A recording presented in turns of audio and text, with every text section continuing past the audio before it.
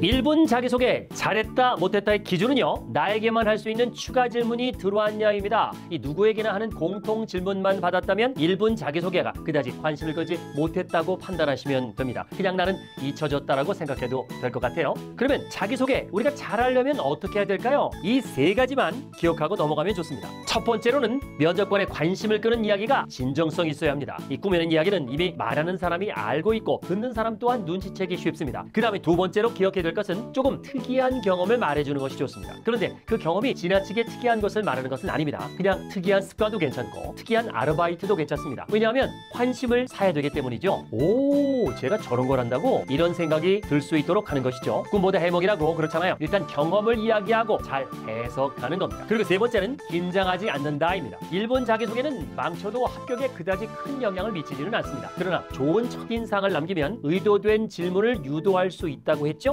실패를 두려워하지 말고 남과 다른 모습을 보여주세요. 나만이 할 수 있는 이야기, 나만 질문 받을 수 있는 이야기라면 외우지 않으려고 해도 쉽게 외워질 겁니다. 더듬대지 말고 자신 있고 당당하게 말해보세요.